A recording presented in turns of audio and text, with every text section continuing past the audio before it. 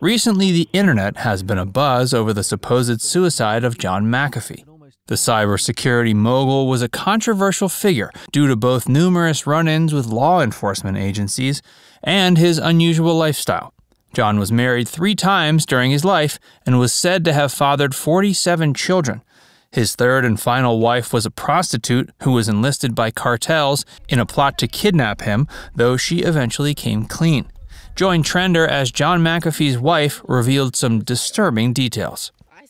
Although the story of John McAfee's third marriage is arguably more interesting than the prior two, the cybersecurity mogul was never a stranger to controversy. His romantic life has been subject to scrutiny since his college days, when he was kicked out of college before the completion of his mathematic PhD due to engaging in a relationship with one of his undergrad students. The name of the student John had been sleeping with was never disclosed, but she went on to become the mogul's first wife. They divorced several years later, and John married his second wife in 1987. John's second wife was a woman named Judy, and he founded McAfee Corp the same year they married. McAfee Corp has since become famous for its antivirus software. John and Judy divorced in 2003, at which point the mogul's love life started going off the rails.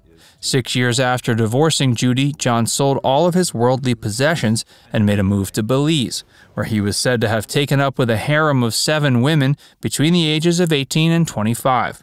This decision was understandably controversial, though John later claimed that the time he spent with these seven women was far less stressful on him than the two monogamous marriages he had experienced previously.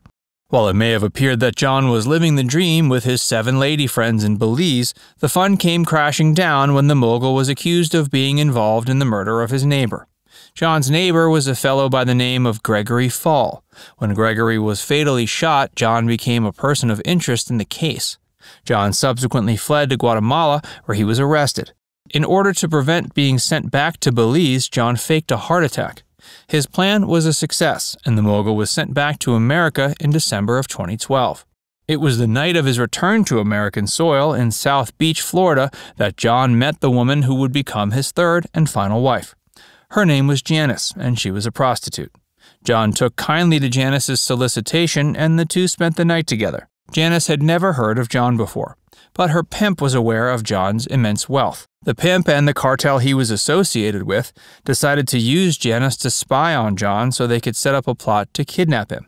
This spying continued for a long time, with Janice giving information to her pimp and the cartel well after she and John had tied the knot in 2013. Janice has since opened up a great deal about the experience of being enlisted by her pimp and his cartel to spy on John. She eventually grew to have legitimate feelings for her new husband, but continued acting under the orders of the cartel for fear of violent retaliation. Initially, the tasks that Janice was given by the cartel were things she could do without feeling too guilty. But when they began asking her to poison John's food and let people into their home, she knew she had to come clean. When Janice came clean to John about what she had been enlisted by her pimp and the cartel to do, John understood. He could see Janice had been put in a compromising position and was glad she had decided to tell him about it before doing anything drastic. With John's immense wealth, he had plenty of resources at his disposal to help protect himself and his new wife from anyone that wished them harm. The two continued living in a heavily protected location in Tennessee until 2018, at which point John became suspicious he was somehow being poisoned. John and Janice ended up taking to the sea in a yacht.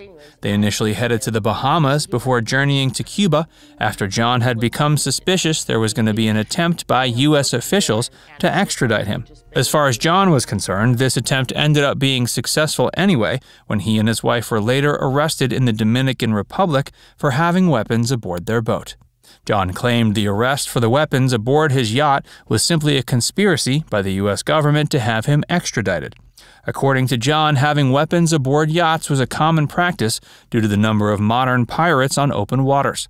Because of this, John claimed authorities generally turned a blind eye to the presence of weapons on ships. So John was sure that his weapons charge was simply a bogus excuse to have him arrested so he could be extradited back to America. John and Janice were able to get away and ended up finding solace in Lithuania, but the couple hadn't seen the last of their troubles with the authorities. Hey, if you're enjoying this video so far, be sure to give it a like and subscribe to Trender if you haven't already. While John McAfee and his wife Janice were on the run, Janice's three teenage sons were being taken care of back in America by John's staff. Before his death, John claimed that he had fathered 47 children. According to the late cybersecurity mogul, he had children ranging from 50 years old to ones who were only teens. Most of the children were illegitimate, though his immense wealth allowed him to make sure all the children were well taken care of. He claimed he kept in touch with all the kids, but that it was hard to keep track. At the height of his wealth, John had accumulated hundreds of millions of dollars as a result of his company and his cybersecurity software. But by the time of his supposed suicide, the mogul was said to have been worth only 4 million. Still, that was more than enough money for him to feed his 50 children. John ended up being arrested at an airport in Spain while attempting to flee the country to Turkey. He was sent to a prison in Barcelona, where he was later said to have committed suicide while awaiting extradition. However, Janice refused to believe this story. There are several reasons for that. For one, she says John simply wasn't suicidal. Janice had talked to her husband the day of his supposed suicide, and John was optimistic about his chances during his upcoming court proceedings.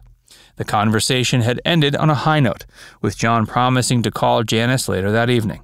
But that call never happened as he was found dead.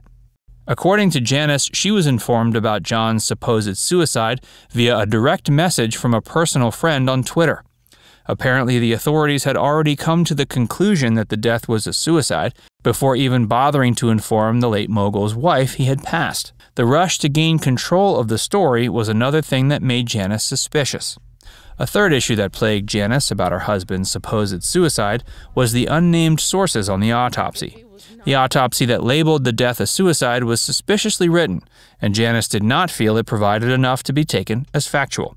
Finally, she was not allowed to see the full corpse of her late husband. Instead, she was only allowed to see her husband's head, while the rest of his corpse was covered with a sheet. And she was only allowed to view John from behind a plate of glass. As if reacting to Janice's suspicions, the authorities eventually presented a suicide note that was supposedly found in John's pocket after his death. However, this raised even more suspicions in Janice, as she wondered why it took so long for both her and the public to be informed about the note. Janice felt the authorities may have faked the suicide note and released it to the media in an attempt to cover up any foul play on their part. Many others around the world have expressed their own suspicion about John's death. If John hadn't died in that Barcelona prison cell, he would likely have been extradited back to America. There, he was set to face charges on a tax offense and could have potentially faced up to 30 years in prison. At the time of his supposed suicide, he was 75 years old, though he was apparently in fine health for his age. Janice remained shaken by the loss of her late husband, who was survived by dozens of children. His death has joined the ranks of many suspicious deaths in the past, from Marilyn Monroe to John F. Kennedy. For now, the cause of John McAfee's death continues to officially remain a suicide. Now it's time to hear from you. Comment down below whether you think John McAfee was murdered or if he committed suicide. And before you go, make sure you give this video a like and subscribe to Trender if you haven't already. Click the bell icon to stay updated on all our latest content.